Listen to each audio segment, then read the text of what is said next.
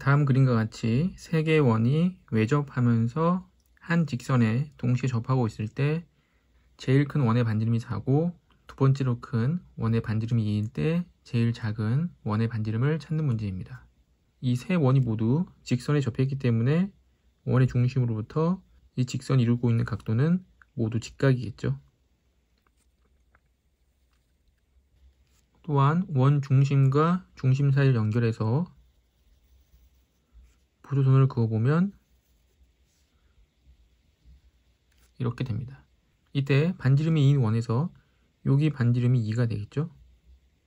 가장 작은 원의 반지름은 R입니다. 이렇게 연결해주면 여기 길이가 2였고 여기는 이제 2-R이 되겠죠.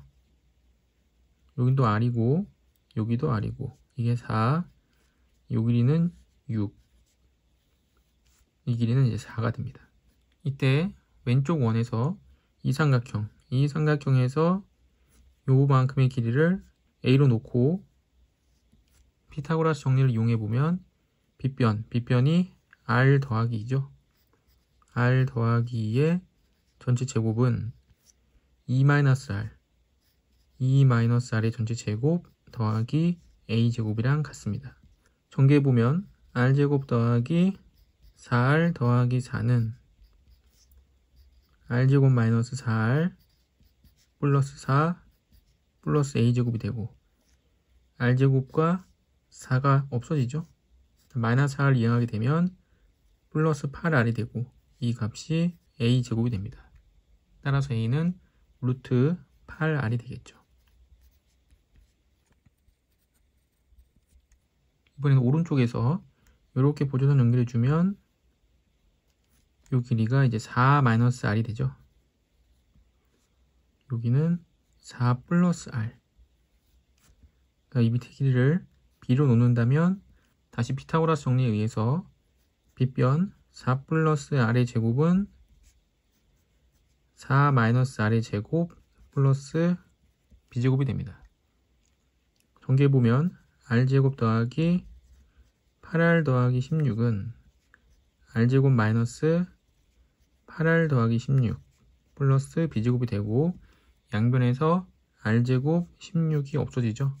마이너스 8을 이용하게 되면 16r은 b제곱이 됩니다. b는 루트 16r이 되죠. b는 루트 16r이 됩니다. 위쪽에서 보조선을 이렇게 그어주면 요 길이가 6이었고 이 길이가 지금 2가 되겠죠. 반지름이 4였고 2였기 때문에 다시 피타고라스 정리를 이용해서 66의 36은 224 더하기 밑변 a 더하기 b죠. a 더하기 b는 루트 8r 더하기 루트 16r입니다.